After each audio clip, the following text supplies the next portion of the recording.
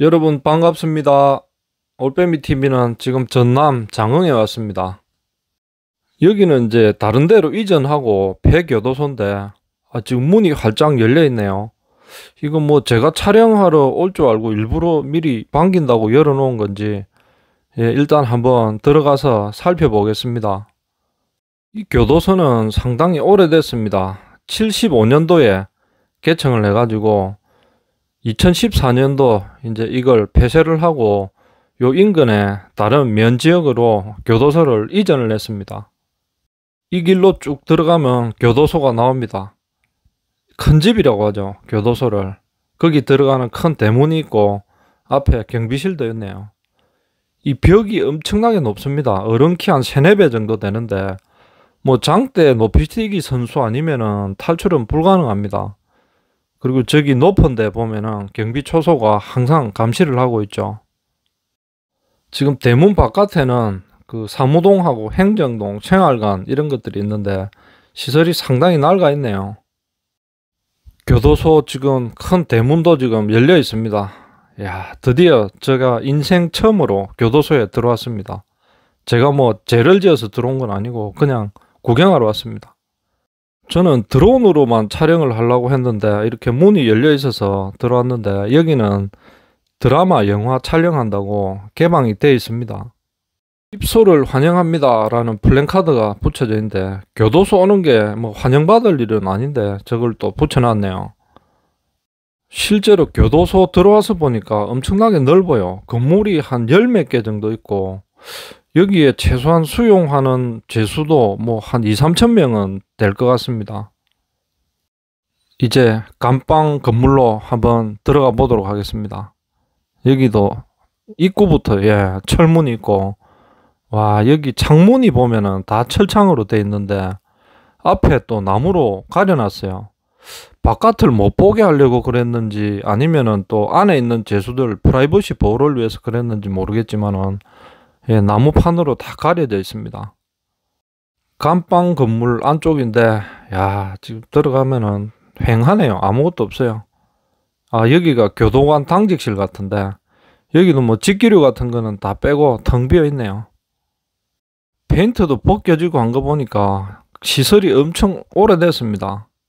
48년 정도 지난 거니까 와 거의 뭐 폐가 수준이죠. 야, 분위기 진짜 살벌합니다. 와 전부 철문이고 철창이고 다 그런 시설입니다. 아, 여기가 독방입니다. 제가 이 정보를 찾아보니까 여기는 일반 독방이라고 하더라고요. 한 1.5평 재는데 한 명 예, 수감을 하고 보통 이제 뭐 질병이 있거나 전염성 질병 같은 게 있거나 이제 대인 기피증이 있거나 또 입소를 할 때 방이 아직 정해지지 않아 가지고 대기할 때 여기서 1인 독방에 이게 수감이 된다고 합니다. 여기 보니까 와 조그마한 화장실 변기 요 하나 있고 예, 수도꼭지 또 하나 달려 있고 야 참 열악합니다. 이 마룻바닥도 지금 낡아가지고 제가 걸어 다니니까 삐걱삐걱 막 곧 부서질 것 같은 그런 정도로 낡아 있습니다. 어릴 때부터 이런 교도소 체험 직접 한번 시켜보면은 우리나라 범죄 발생률이 확 줄어들 것 같습니다. 이 깝깝한 독방에 예 끔찍하죠. 어떻게 여기 있습니까? 야 저는 하루도 못 버틸 것 같습니다. 여기 철문 아래 보면은 고양이 몸 같이 조그마한 구멍이 있는데 요 구멍으로 밥 같은 걸 넣어줍니다. 야, 참, 영화에서는 봤지, 실제 제가 이거 보는 거는 처음이거든요. 그 사람이 자유를 박탈당하는 게 얼마나 무서운 고통인지, 야, 직접 들어와서 보니까 실감이 납니다. 여기는 한 6, 7명 정도 예, 잘수 있는 그 정도 방인데, 어, 여기는 뭐, 꽤 괜찮네요. 선반도 달려 있고, 예, 바깥을 볼 수 있는 창문도 있고. 근데 여기 보면은 건물이 다닥다닥 붙어가지고 하늘도 잘 안 보이고 바깥 세상도 안 보입니다. 여기 이제 다인실에 있으면은 외롭지가 않죠. 예, 독방에 있으면은 진짜 뭐 누구하고 이야기할 사람도 없고 이런데 사람이 많이 살면은 야, 이너뭐뭔 사고 쳐서 들어왔냐 하고 뭐 또 공기도 작고 뭐 서열도 정하고 또 그런 재미가 있죠. 교도소에서 서열이 제일 높은 그 부류가 조폭이랍니다. 그 다음에는 뭐 살인, 폭력, 사기 이런 순서고 성범죄자 있지 않습니까? 제일 쓰레기 취급을 받는답니다. 그래서 매일 변기 청소 담당이랍니다. 여기도 배식 투입구가 있네요. 바깥에서 이렇게 문을 열어가지고 넣어주는데 크기가 뭐 큰 사발 정도 하나 들어갈 정도로 아주 작은 구멍입니다. 다인실 감방은 평수가 대략 한 3평 정도 되는데 야, 지금 수용자가 7명. 야, 7명을 수용하다니. 야, 참 진짜 완전 콩나물 교실인데. 예, 여기서 이제 교도관 간수가 딱 그 뻘짓거리 안 하는지 이렇게 감독을 쫙 하죠. 예, 영화에서 많이 보셨을 겁니다. 복도 쪽에 철창도 있고 독방보다 훨씬 낫네요. 여기는 공용 세면장인데 야 우리 군대 생활할 때 세면장하고 거의 뭐 비슷합니다. 여기 큰 욕조에 또 물 받아가지고 이렇게 수도꼭지 달아서 여러 명이 사용하는데 샤워기도 있고 야 이 정도면 괜찮네요. 지금 우리나라에 교도소에 복역하고 있는 재수가 미결수 포함해서 총 6만 명이나 된답니다. 어마한 숫자죠. 그래프 보시면은 해마다 범죄자 수가 증가해서 여기 감방살이 하는 사람이 계속 늘어나고 있습니다. 교도소 내부에 들어와서 이렇게 쭉 둘러보니까 와 시설이 엄청나게 규모가 큽니다. 한마디로 닭장같이 감방이 다닥다닥 붙어 있습니다. 몇 년 전에 장흥군에서 이제 이 폐교도소를 매입을 해가지고 이제 이 교도소 역사와 건물 이런 걸 소개하는 예, 체험 프로그램을 만들라고 지금 계획을 하고 진행을 중이라고 하는데 이 또 익산에도 교도소 세트장이 있습니다. 거기에 또 똑같은 시설이 있으니까 아마 중복으로 투자되지 않나 하는 생각이 듭니다. 오른쪽에 철문이 큰 게 있는데 저건 정문이 아닙니다. 아마 요 지금 옆에 나가면은 큰 빈 땅이 있는데 거기에서 아마 농사를 짓고 했던 모양입니다. 일반인을 대상으로 체험 프로그램을 진행을 하려고 해도 약간 안전에 문제가 있습니다. 건물이 너무 낡아가지고 지금 안전 진단이 필요하다고 그렇게 이야기를 합니다. 뭐 제대로 지은 건물이라면 아직 까딱 없는데 뭐 그냥 날림으로 지었겠죠. 여기는 운동장으로 가는 길입니다. 예, 항상 죄수들이 그 방에 갇혀 있다가 이제 깝깝하죠. 그래서 하루에 한 번씩 이렇게 햇빛 보라고 여기서 이제 산보도 하고 예, 축구도 차고 운동도 좀 하는 그런 운동장입니다. 여기도 철조망이 쫙 쳐져가지고 운동장을 폐쇄를 할 수 있게 그렇게 구조를 만들어 놨네요. 죄수들 일과 시간표를 한번 보면은 아침 6시 반에 기상해서 오전 일과하고 오후 일과하고 또 저녁에는 또 TV도 볼 수 있네요. 그리고 이제 9시 되면은 일찍 취침을 합니다. 자, 이제 운동 다 하고 햇빛 다 봤으면은 다시 또 감방으로 들어가야 됩니다. 여기도 보니까 통로에 철조망을 막 쳐가지고 운동장하고 감방 건물 거기만 딱 왔다 갔다 하도록 돼 있네요. 여기 보면은 철 계단들이 많이 있습니다. 저게 2층, 3층으로 올라가는 계단인데 좀 안전에 문제가 있다고 하니까 올라가 보지는 못하겠습니다.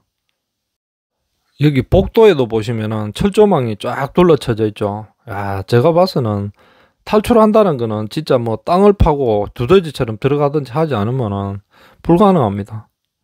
이 건물은 큰 굴뚝이 하나 있는데 여기가 취사장입니다. 야, 옛날에 이제 요리를 했던 식당이죠.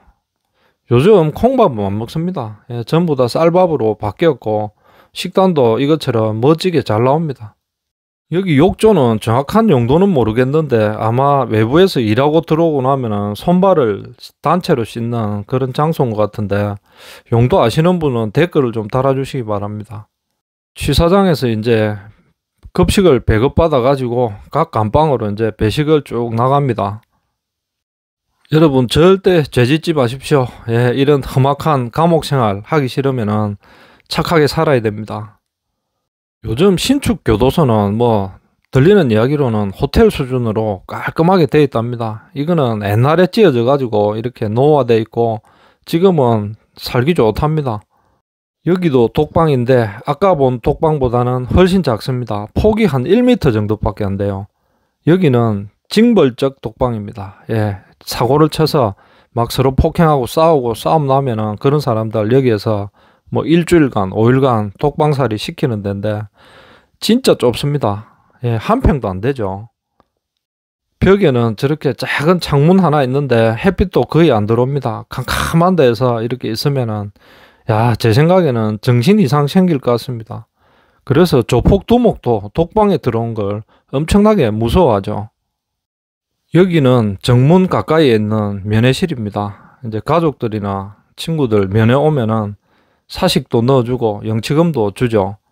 실제 여기 매점도 있거든요. 그런데 교도소 생활을 편하게 하려면은 영치금을 어느 정도 넉넉히 가지고 있어야 교도소 생활이 편하답니다. 이 면회실은 영화나 드라마의 촬영 장소로 아주 많이 나왔다고 합니다. 슬기로운 감방 생활 드라마도 여기 장흥 교도소에서 촬영을 했답니다. 촬영팀들이 한 수십 명씩 한번 내려오면 한두 달 동안 머물기 때문에 이 지역 사회도 도움이 된다고 합니다. 이거 뭐 군대 훈련소도 아닌데 야, 걸어 다니다가 잡담을 하면 안 된다네요. 드디어 저도 짧디 짧은 두 시간의 형량을 다 채우고 이제 출소를 합니다. 교도소 내부를 한번 쭉 둘러봤는데 두 번 다시 오고 싶지 않습니다. 절대 사람이 살 수 있는 데가 아닙니다. 지금 해도 지고 있고 밖에서 이 대문을 잠궈버리면 저는 평생 여기서 무기수로 살아야 됩니다. 예, 문 닫기 전에 후딱 둘러보고 나왔습니다. 야, 이제 이제 나는 자유를 얻었습니다. 야, 자유가 이렇게 소중한지 여러분 모르실 겁니다. 야, 한마디로 나는 이제 자연인이 아니고 자유인이다. 이렇게 외치고 싶네요. 야, 원래 이렇게 출소하면은 까만 차들이 몇 대 와가지고 형님 수고하셨습니다 하면서 두부도 주고 이러는데 아 두부 주는 사람도 없네요. 제 친구 중에 그 논산 훈련소 갔다가 교도소 경비병으로 빠진 친구가 있습니다. 그 친구는 국방부 소속이 아니고 내무부 소속으로 해가지고 3년 동안 이 경비만 섰습니다. 경비병이 탈옥수를 잡으면 한 달 특별 휴가를 준답니다. 그래서 열심히 근무를 했는데 3년 동안 탈옥하는 사람이 한 명도 없었답니다. 교도소 구조를 보면은 맨 바깥쪽에는 이렇게 큰 높은 장벽이 둘러쳐 있고 건물마다 또 철문이 있습니다. 또 각 층에 통로마다 철문이 있고 또 감방에도 잠겨져 있죠. 그래서 총 사중으로 잠금 장치가 돼 있어서 진짜 헬기가 와가지고 싣고 가지 않는 이상 탈출은 불가능입니다. 교도소 입구에 보면은 이렇게 비석이 많이 서 있습니다. 한 15개 될 것 같은데. 그래서 처음에 이게 뭐 하는 거지 이렇게 쫙 읽어보니까 예, 옛날에 돌아가신 분들 묘소에 세우는 그런 비석입니다. 아마 교도소에서 숨을 거두고 이제 연고가 없다 보니까 이렇게 비석을 세워둔 것 같습니다. 자세히 아시는 분 있으면 좀 댓글로 설명을 부탁드릴게요. 장흥 교도소는 바로 읍내에 위치해 있습니다. 저기 아파트에서 보면은 교도소 안쪽이 다 보일 것 같습니다. 요즘은 도둑들은 줄었는데 사기를 치는 사람들이 많습니다. 그래서 해마다 사기 범죄가 계속 증가를 하고 있습니다. 오늘 긴 영상 시청해 주셔서 감사드립니다. 다음에 뵙겠습니다.